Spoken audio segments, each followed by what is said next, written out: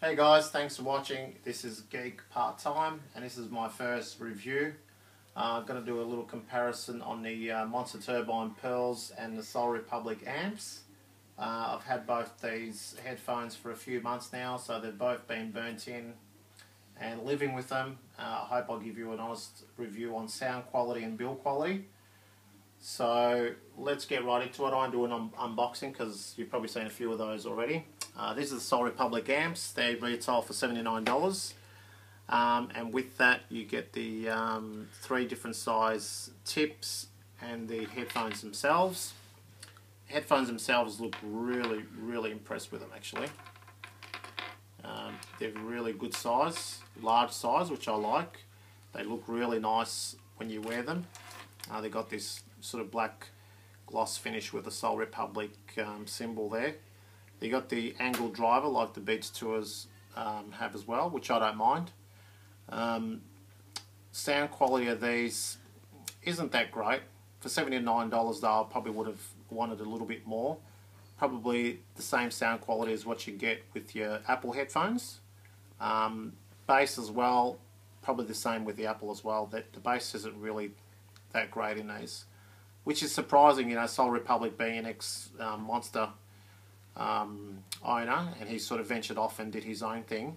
I thought he'd put a little bit more emphasis on um, bass sound, and me being a bass head, I found these to be really lacking in bass. The Solo HD, HD apparently have a little bit more bass than these, but they, they're around about $120.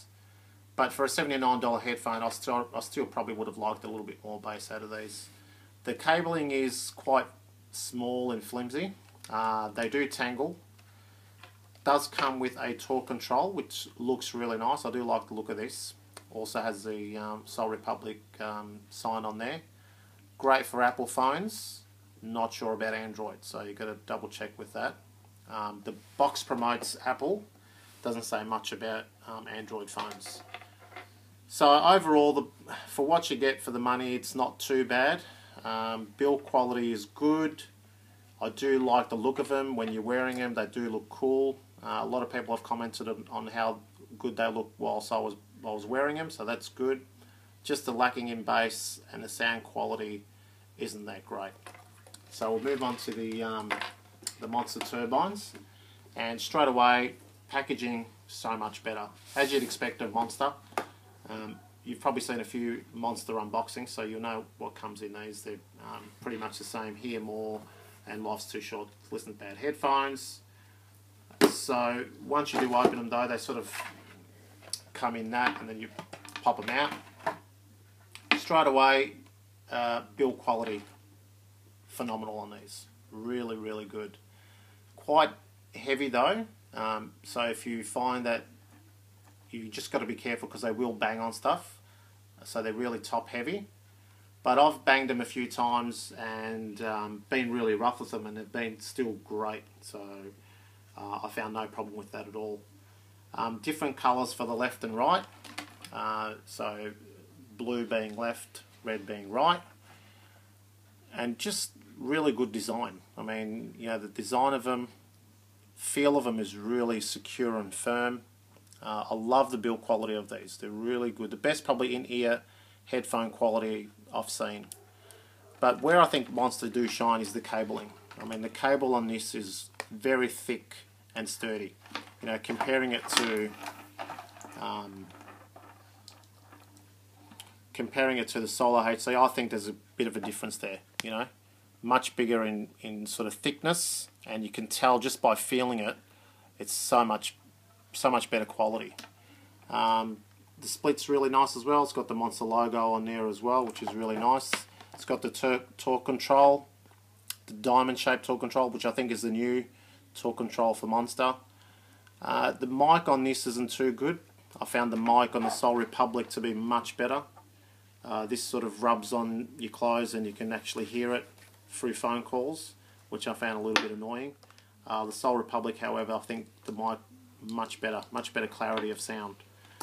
Uh, moving on to the sound quality of the, of the turbines, the bass is excellent. Uh, not deep bass, uh, because I, do, I am a bass head, so it's not deep thumping bass, but the bass is definitely present. Uh, mids and highs is where this shine. Very, very clear. Clarity is phenomenal. Uh, you love just to hear different songs, other songs that you haven't, you know, you haven't heard through these before, just to see what they're going to sound like with these. You'll hear instruments, you'll hear things through these that you probably won't hear with other headphones. Um, I think the tips on these, and they do come with um, they do come with super tips. The super tips are the gel and the foam tips. So this one being the gel tip, uh, which a comparison to a normal tip.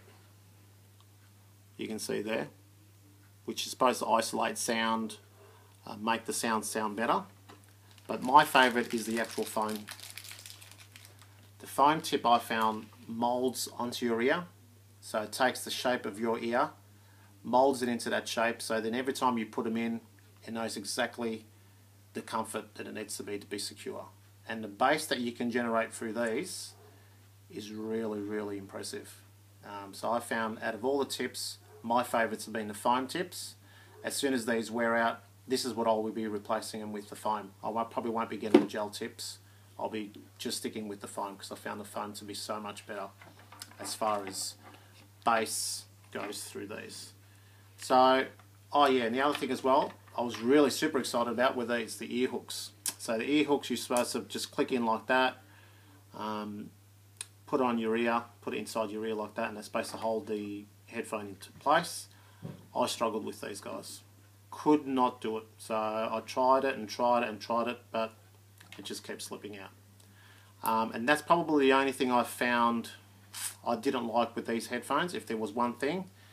And that is because they are very heavy, they will, you know, if you yawn or chew, they want to pop out. So that's why I found the foam tips to be so much better. They secure in there. Once they're secure in your ear, they won't come out.